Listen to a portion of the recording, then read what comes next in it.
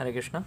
তো আজকে আমাদের যে সেশনটা আছে, সেটা হচ্ছে ভগবদ্গীতার চতুর্থ অধ্যায়ের তিন নম্বর শ্লোকটা। অলরেডি আমরা এক আর দুই গত সেশনে শেষ করেছি। তো আজকে আমরা তিন নম্বর শ্লোক, সেটাও গুরুত্বপূর্ণ শ্লোক ভক্তদের জন্য। আর ভগবদ্গীতা কারা বুঝতে পারে এই জিনিসটা বোঝানোর জন্য। শ্লোক একটু কঠিন আছে এই জন্যে হয়তো আপনারা না বুঝতে পারবেন শ্লোকটা, সংস্কৃত। শ্লোক হচ্ছে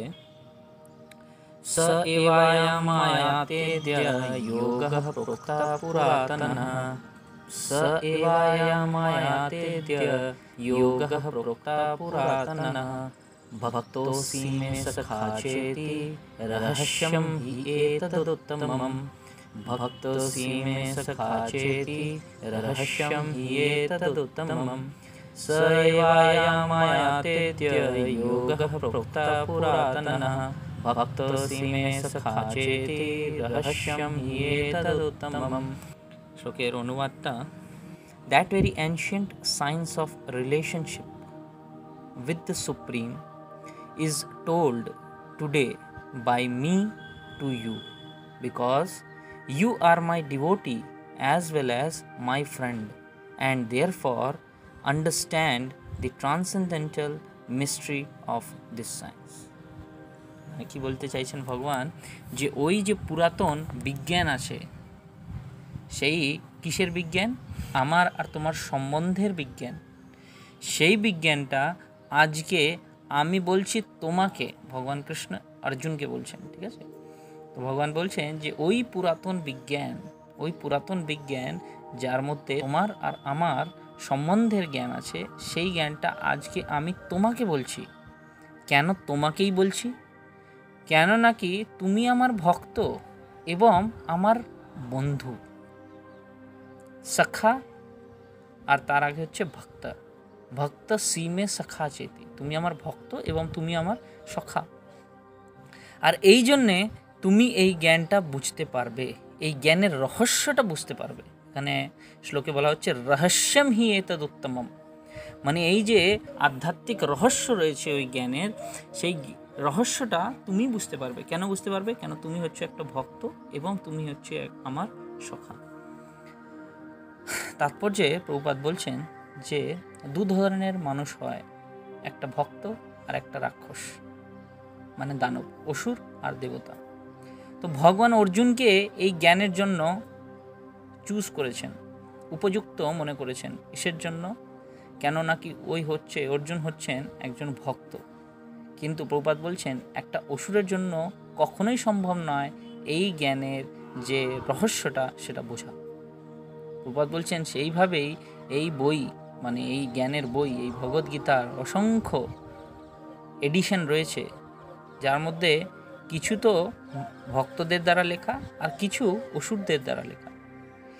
তারপর প্রপাত বলছেন যে যা ভক্ত যেটা লিখেছে সেটা হচ্ছে আসল, কিন্তু অসুর যেটা লিখেছে সেটা হচ্ছে ইউজলেস আর অর্জুন ভগবান কৃষ্ণকে ভগবান বলে মনে করেছে, আর যে কেউ ব্যক্তি অর্জুনের এই পদচিহ্নটা অনুসরণ করে এই ভগবদ্গীতার উপরে কমেন্ট্রি লিখবে, টিকা করবে, সেই বইটাই কেবলমাত্র যথাযথ বুঝতে পারা যাবে। সেই বইটাই হচ্ছে আসল বই। আর অসুররা কি করে? তারা ভগবানকে ভগবান কৃষ্ণকে ভগবান মনে করে না। তারা নতুন কিছু বের করে। রূপাত বলছেন যে তারা কি বের করে? তারা নতুন কিছু বের করে সমস্ত যারা পড়াশোনা করছে ওই বইয়ের তাদেরকে বিভ্রান্ত করে দেয়।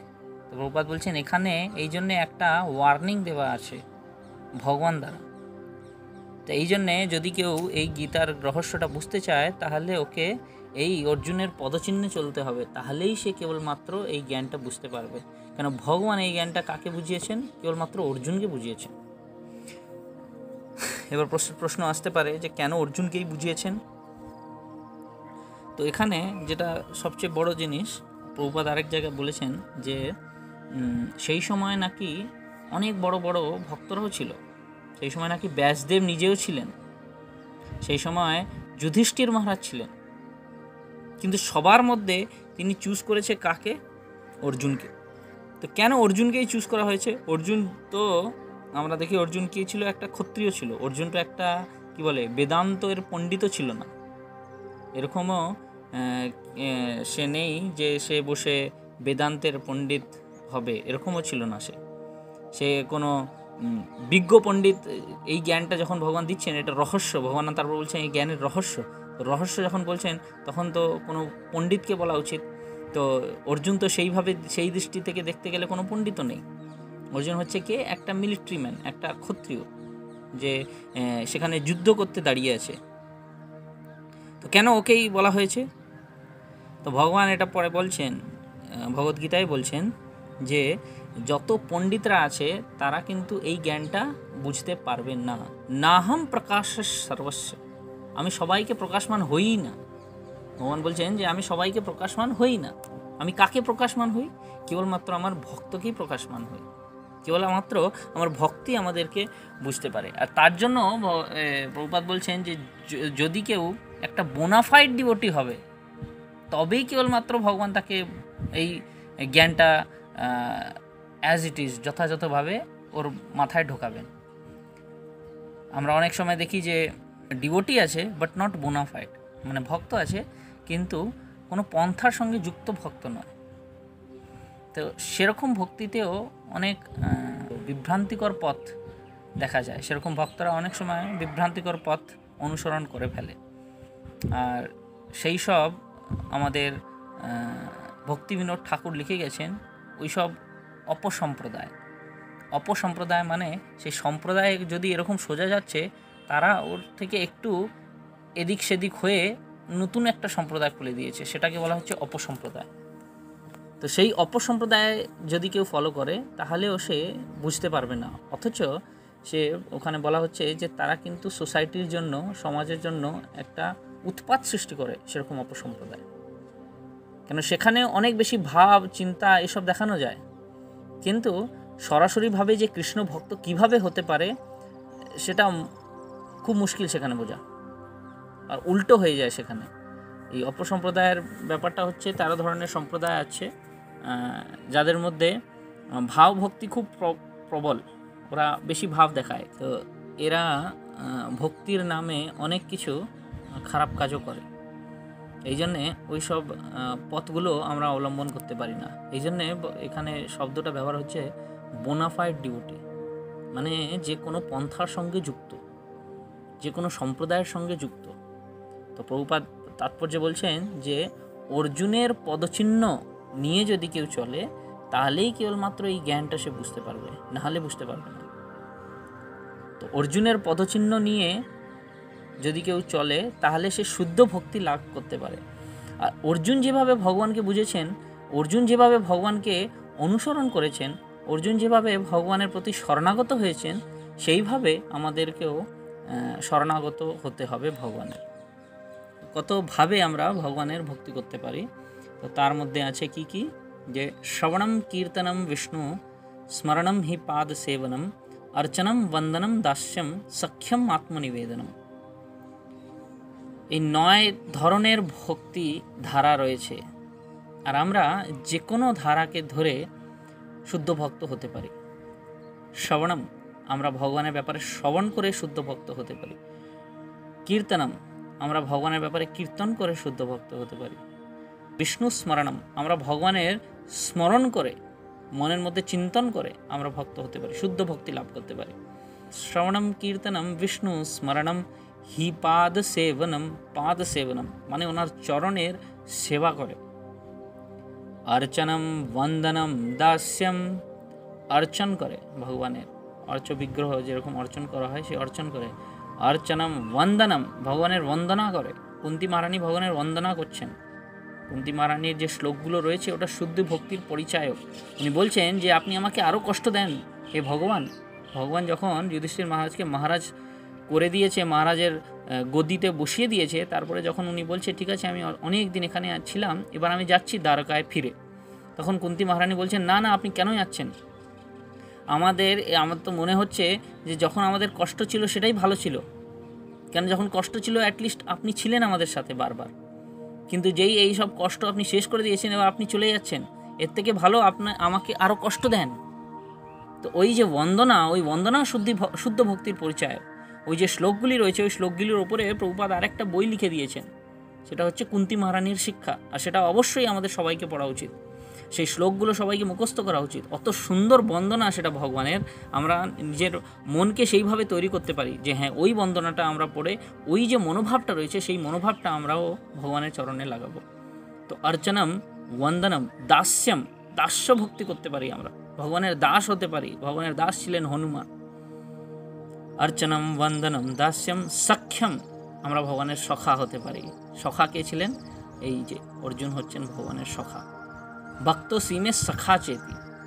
অর্জুন হচ্ছেন ভগবানের সখা। তো ভগবানের সখাও ভগবানকে আপনি বন্ধু বানাতে পারেন। তো ভগবানকে আমরা বন্ধু বানাতে পারি, অত সহজ আছে ভগবানের ভক্তি করা।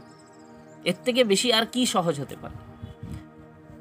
তো অর্চনম বন্দনম দাস্যম সখ্যম আত্মনিবেদনম। আর সেটা লাস্টের যেটা হচ্ছে, সেটা হচ্ছে নিজেকে পূর্ণরূপে শরণাগত করে দেওয়া, যেটা বলি মহারাজ করেছিলেন। যখন বলি মহারাজ ভগবানকে, ভগবান বামন দেবকে যখন এই প্রতিজ্ঞা করে নিয়েছিলেন ওনার সামনে যে হ্যাঁ আমি আপনাকে তিন পগ, তিন পা ভূমি দেব। তখন উনি এক পায়ে পুরো পৃথিবী আর এক পায়ে পুরো ওপরের লোক সব একবারে কি করেছিলেন? মেপে দিয়েছিলেন।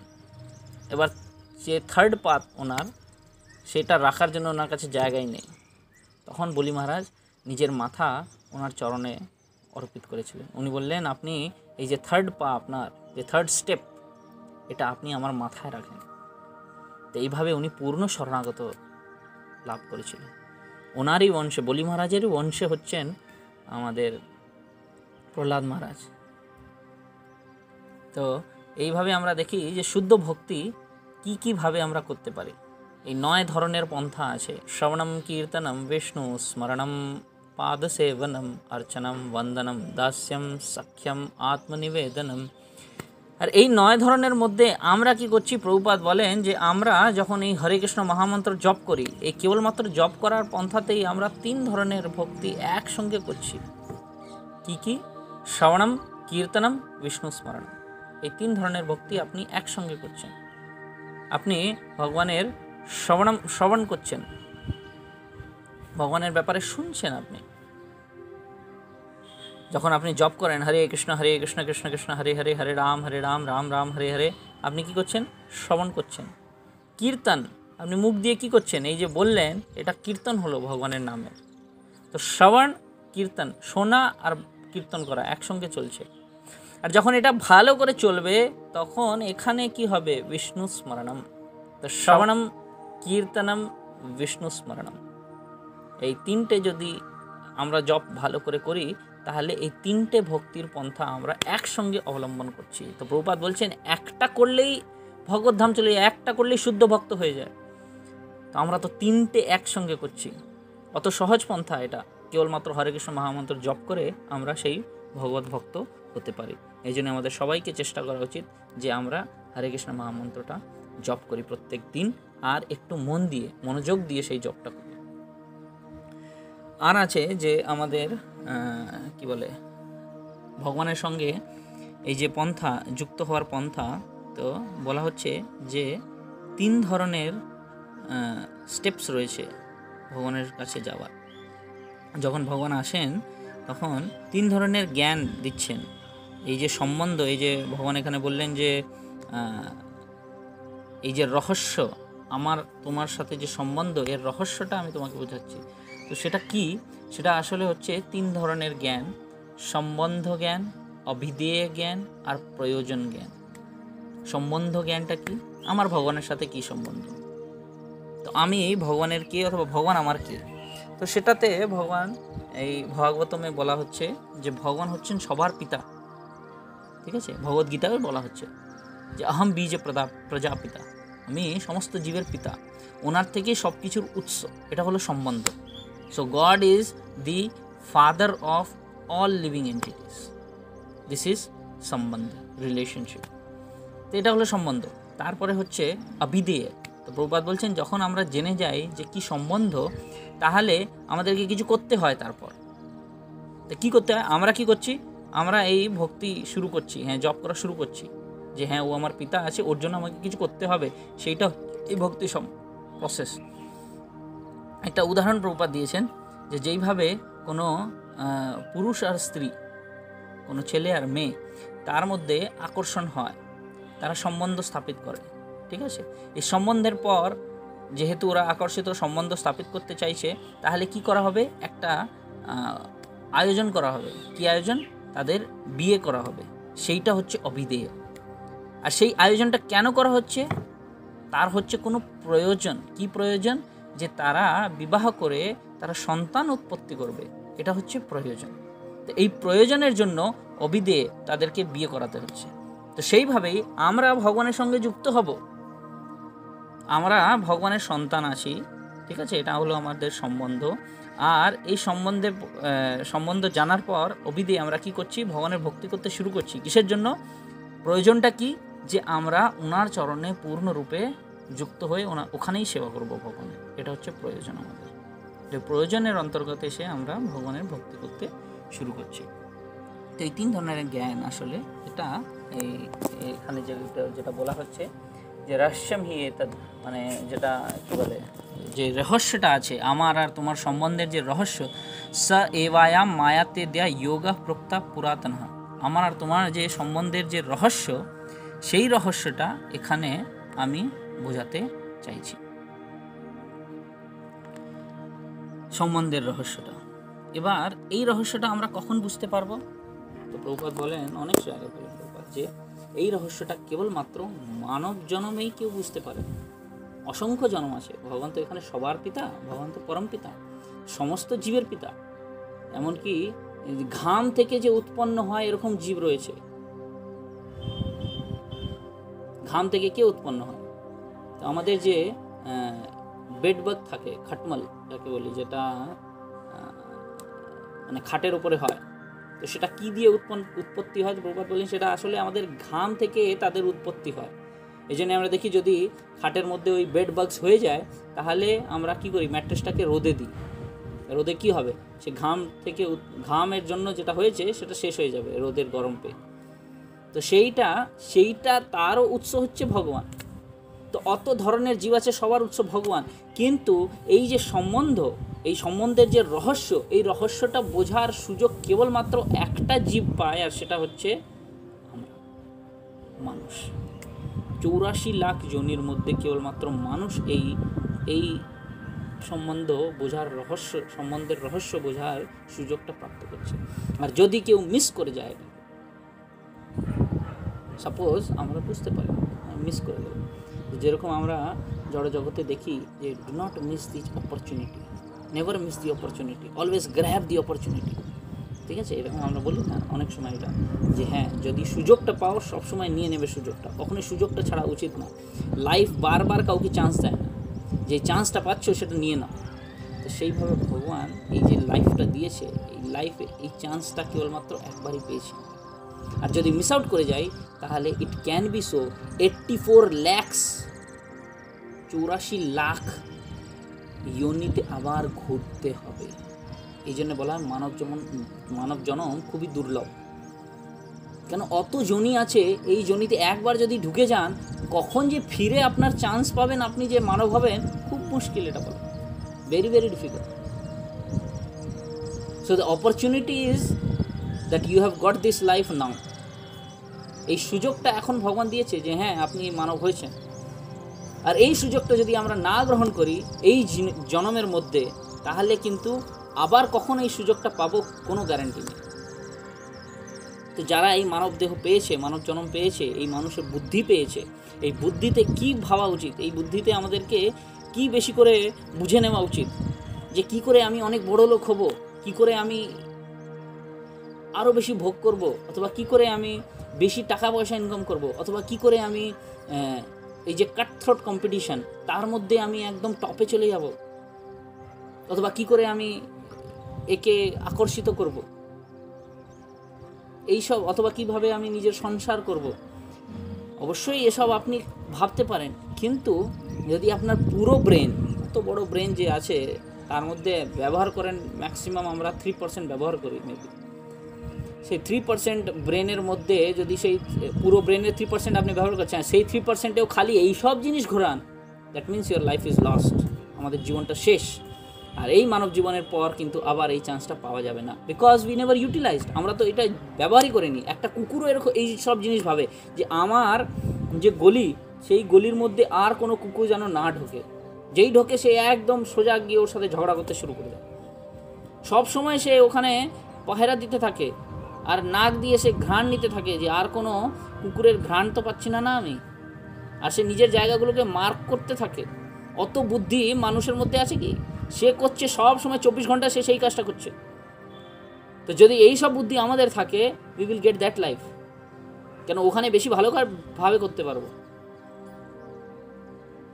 তো যদি এই জীবনটা আমরা পুরোপুরি if you want to grab the opportunity এই সুযোগটা আমি পূর্ণরূপে গ্রহণ করতে চাই মানব সমাজে, তাহলে আমাকে কী করা উচিত? প্রপাত বলছেন যে, এই জন্মেই এই জন্মেই একটা জন্ম যে মানব জন্ম দুর্লভ, মানব জন্ম যে পেয়েছি আমরা, তার মধ্যেই আমাদেরকে ভগবানকে বুঝতে হবে, ভগবানের ভক্তি করতে হবে। আর ভগবানকে বোঝা অনেক বেশি কঠিন আছে, অত সহজ না, কিন্তু মহাপ্রভু অনেক সহজ করে গেছে।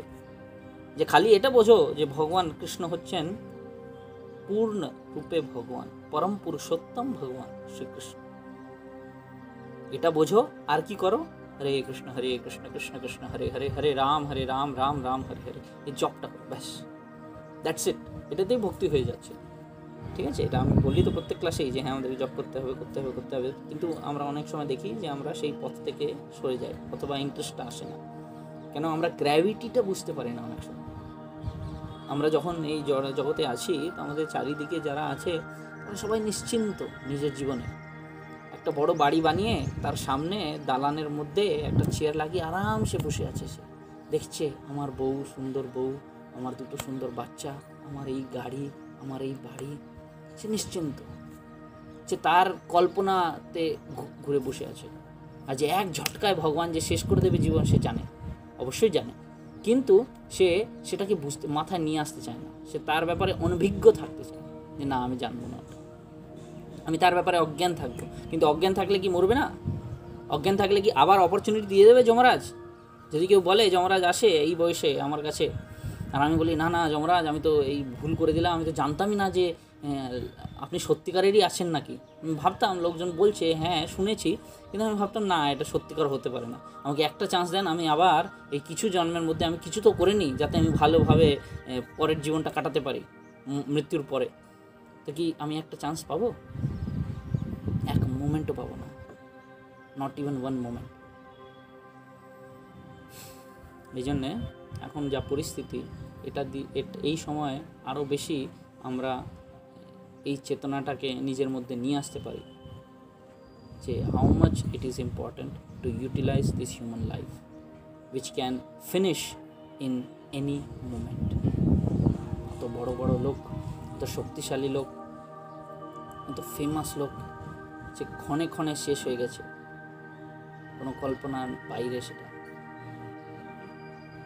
ইন স্পেন একটা রিসেন্ট একটা ঘটনা শুনেছিলাম স্পেনে যে ব্যাংক আছে, সবচেয়ে বড় ব্যাংক ওখানকার, সেই ব্যাংকের মালিক he was seventy two and he was dying in the hospital হসপিটালে মরার সময় ওনাকে অক্সিজেন লাগবে। ঠিক আছে? সবাই তো অক্সিজেনের ওটাতেই মৃত্যু প্রাপ্ত করেছে অক্সিজেন দেওয়া যাচ্ছে স্টিল হি ওয়াজ ডাইং পর, পরে ওনার যে মেয়ে, সে বারে পরে বলছে যে, আমার বাবা তার দেহান্ত হয়েছে কিসের জন্য? এই হাওয়ার জন্য। হাওয়া যেটা ফ্রি অফ কস্ট দিয়েছে আর উনি পুরো জীবন কি উৎস করেছেন, কি সৃজন করেছেন, কি অ্যাকিউমুলেট করেছেন, কি নিজের কাছে রেখেছেন, সেটা হচ্ছে ধন। খুব বেশি সম্পদ আছে। সবচেয়ে বড় ব্যাংকের মালিক সে। So he has lot of money সেই সব মানিটা বাড়িতে অ্যাজ ইট ইজ আছে। কিন্তু ইট ওয়াজ নট ইউজড ওটা ওখানেই রয়ে গেছে। আর সে প্রাণটা কিসের জন্য ত্যাগ করে দিয়েছে? যেটা ফ্রিতে পাওয়া যাচ্ছে। So we should know that for what we are spending our life জীবনটা যেন অনায়াসে, অনর্থ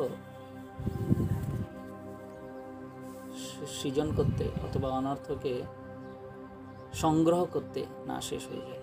এটা আমাদেরকে মনে রাখা উচিত। এই যে একটা জীবন পেয়েছি আর আমরা খুব ভাগ্যবান যে এই বয়সের মধ্যে আমরা এই যুক্তিগুলো বোঝার চেষ্টা করছি অথবা বুঝছি। অ্যাটলিস্ট এই বয়সে যদি আমরা বুঝছি that is very very great কেন আমাদের কাছে স্টিল আমাদের কাছে সময় আছে।